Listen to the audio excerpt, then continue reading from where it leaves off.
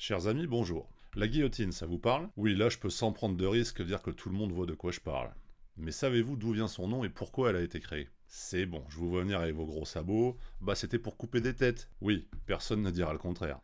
Mais pour les exécutions, il y avait déjà des méthodes qui fonctionnaient, comme le sabre, la hache, l'écartèlement. Donc en réalité, sa conception, comme nous allons le voir ensemble, relevait de préoccupations très terre-à-terre, qui dans un autre contexte pourraient être très drôles.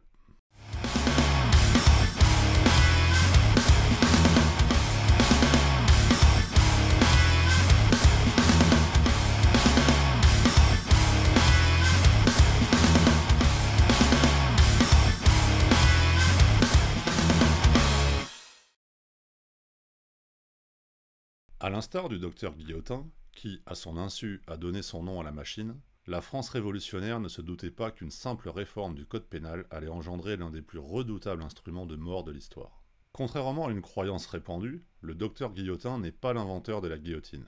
Député de Paris en 1789, ce médecin de formation participa activement au débat de l'Assemblée constituante sur la réforme du code pénal et demanda notamment que soient révisées les exécutions capitales. Avant la Révolution, plusieurs modes d'exécution existaient, comme on l'a dit en introduction, selon la nature du crime et le statut du condamné. Le noble était décapité au sabre, le bandit roué vif en place publique, le régicide écartelé, etc. Des différences de traitement que souhaitait abolir le docteur Guillotin pour que, même en matière d'exécution, chaque citoyen soit égal devant la loi. Touchant attention. Une manière également d'éviter des tortures inutiles aux condamnés car à l'époque, il était fréquent que la décapitation échoue à la première tentative, ou qu'il soit nécessaire d'interrompre l'écartèlement pour sectionner quelques nerfs réfractaires. À la suite de nombreux débats, l'Assemblée décréta en 1791, via l'article 3 du Code pénal, que tout condamné aura la tête tranchée. Un décret dont s'alarma le bourreau de Paris, Charles-Henri Sanson, qui fit part à l'Assemblée des problèmes liés à cette condamnation unique. Décapiter à la chaîne était pour lui source de fatigue, et donc d'erreur, sans parler du matériel qui se dégraderait plus facilement s'il devait trancher plusieurs têtes dans la même journée. Il voulait pas se fatiguer, le petit bichon. Le député Guillotin avait bien quant à lui prôné lors des débats une exécution par un simple mécanisme. Une question à laquelle l'Assemblée n'avait d'abord pas donné suite, et dont le code pénal n'apportait pas de réponse. Il fut donc demandé à Joseph Ignace Guillotin et au secrétaire perpétuel de l'Académie royale de chirurgie, Antoine Louis, accompagné dans leur recherche par le bourreau de Paris, de mettre en place ce mécanisme. À la croisée des pensées politiques et philosophiques du docteur Guillotin, des réflexions anatomiques du docteur Louis et des pratiques du bourreau Samson naîtra la guillotine.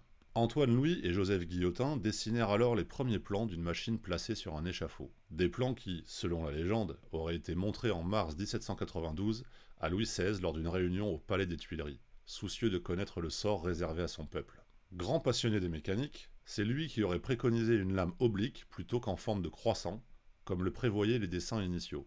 Ironie de l'histoire, bien que cette légende soit contestée, puisque le roi subira moins d'un an plus tard les effets de son propre perfectionnement.